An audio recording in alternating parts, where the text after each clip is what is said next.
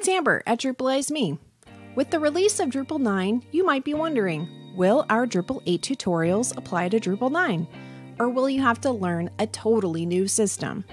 Nope, our Drupal 8 tutorials apply to Drupal 9 too. But how? To answer this question, let's take a look at how Drupal 9 was built on Drupal 8.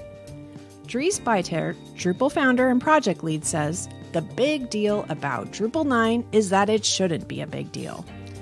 Welcome to a new era, a happy path of major version updates in Drupal. Adopting Drupal 9 or even Drupal 8 means putting your site on track for easier to adopt innovation and never having to deal with a painful upgrade again.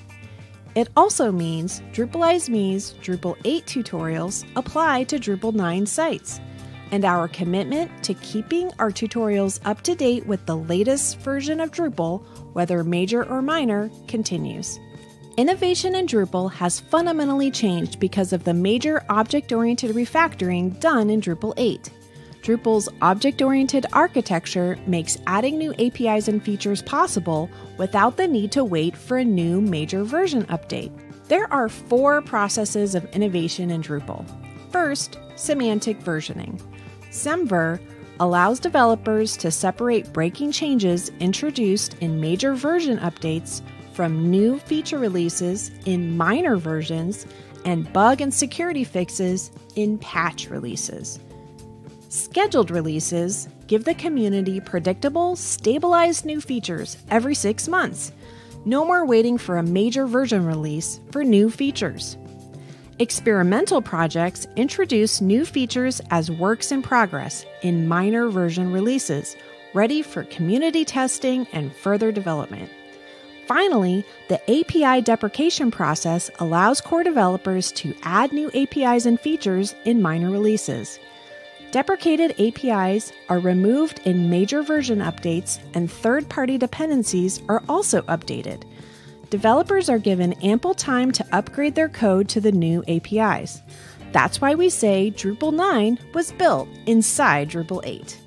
Semantic versioning, scheduled releases, experimental projects, and the deprecation process all help ensure that Drupal users get access to new features and APIs without having to wait for a new major release. Yay! So that means that if you're up to date with the latest minor release of Drupal 8, you're close to being ready for Drupal 9. It also means that Drupalize Me's Drupal 8 tutorials, which we've been keeping up to date with API changes, apply to Drupal 9 sites. Drupal 9 contains all the awesome features of Drupal 8 and at Drupalize Me, we're always working on tutorials for Drupal's newest features. At Drupalize Me, our tutorials are already Drupal 9 ready, updated with the latest minor version release of Drupal 8.